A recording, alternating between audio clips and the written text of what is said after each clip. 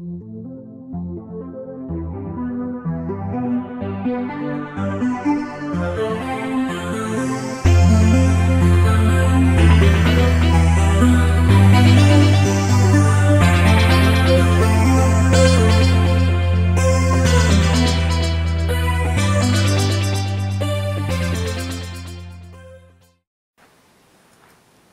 Phil Upchurch to talk to you about Upchurch family again, and I've got a special facet about our family that I want to communicate to you.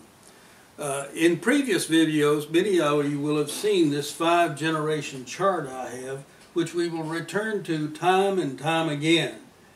You might ask, well, why do we have to do this? Because we've got the modern Ancestry.com and other systems of presenting family history, so why deal with ancient charts?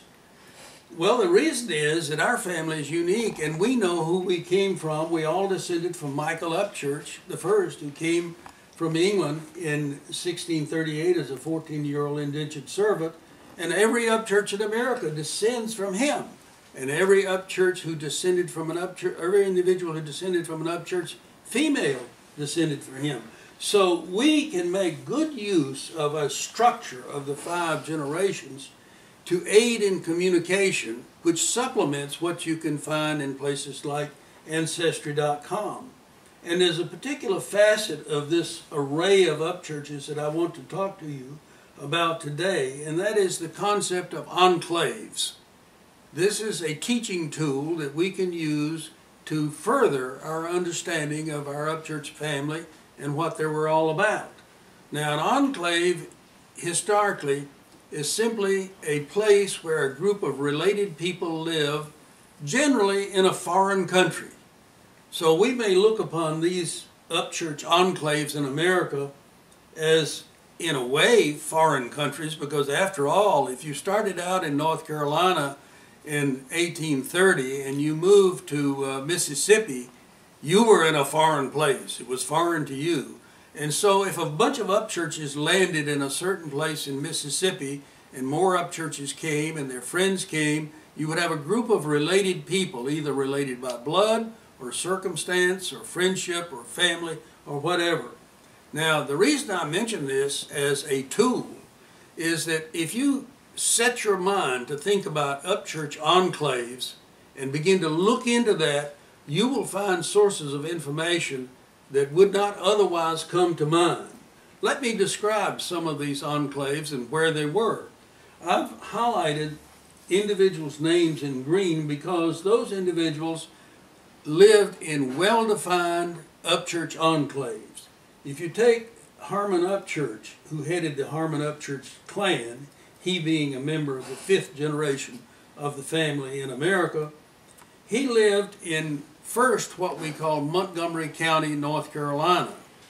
Well, now, really, it wasn't Montgomery County as we look at it today because in 1841 they divided the county into two parts, and the western part became Surry County, and his land, which had been in Montgomery County prior to that time, was in Surry County. So if you start looking at the records in 1840, 1850, all the way down, even to today, you will find upchurches there in Stanly County, North Carolina.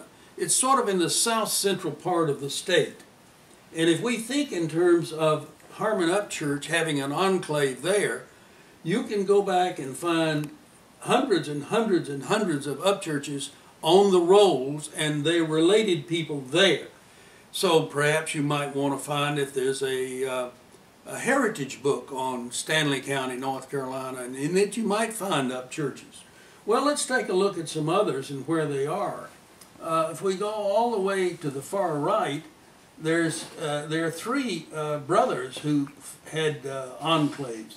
George Upchurch started out in Brunswick County, Virginia, and moved to Iredell County, North Carolina, and by 1810 1812 was in Wayne County, Kentucky. Now, there he established the George Upchurch clan. And in fact, I have been to Wayne County and given an Upchurch lecture. It's a beautiful country. You'd love to go there and see the mountains and the rolling hills. And we looked at ancient Upchurch cemeteries all over uh, the community. So there are literally thousands of descendants of George Upchurch today living all over the country, all of whom trace their heritage back to Wayne County, Kentucky, and to the George Upchurch enclave there. And if you go there today, you'll still find Upchurches there. Well, his brother Sherwood Upchurch moved to a different place. He probably started out in Brunswick County, Virginia, but we know he ended up in Rutherford County, North Carolina, which is in southwest North Carolina on the border of South Carolina. Now, subsequently, he moved to Georgia and there he died. But it's been very interesting to check into Rutherford County, North Carolina, and to look at all the Upchurches there. And in fact, there are quite a few puzzles about the Upchurch family. Other individuals whose names we know, but whose linkage to other uh, to a parent of Upchurch we don't know, but they may have passed through Rutherford County.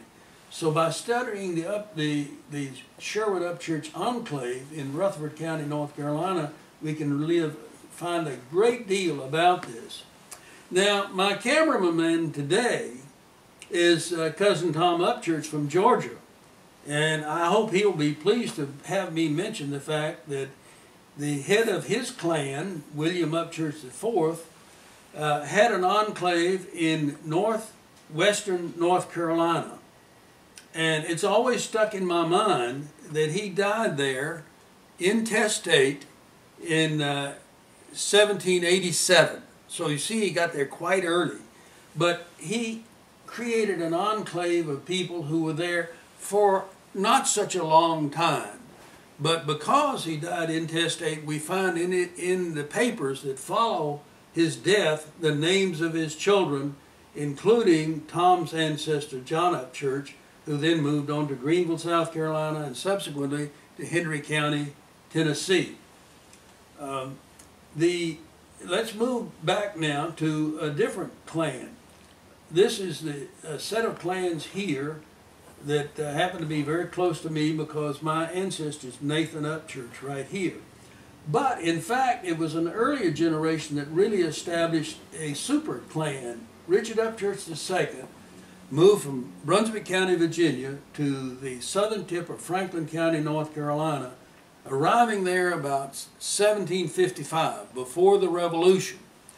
And there he established the Richard Upchurch II enclave, a group of Upchurches who were uh, related uh, as brother and sister, who intermarried with local people, and who created literally tens of thousands of descendants.